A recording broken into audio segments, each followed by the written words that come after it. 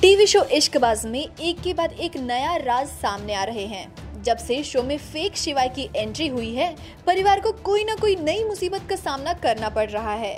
Recently हमने देखा कि सौम्या को पता चल गया है कि परिवार में शिवाय का बहरूपिया रह रहा है, जिसके बाद सौम्या ये सच्चाई चाहकर भी अनिका को नहीं बता पाई, क्योंकि कामिनी ने उसे ऐसा करने से रोक दिया था।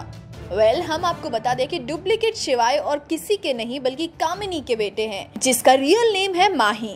माही और शिवाय जुड़वा भाई हैं। जी हाँ सही सुना आपने। दरअसल कामिनी शक्ति को कॉलेज के दिनों से चाहती है और अब उसने पिंकी को शक्ति की ज़िंदगी से दूर करने के लिए माही को परिवार में भेजा है ताकि वो उसे बर्बाद कर सके।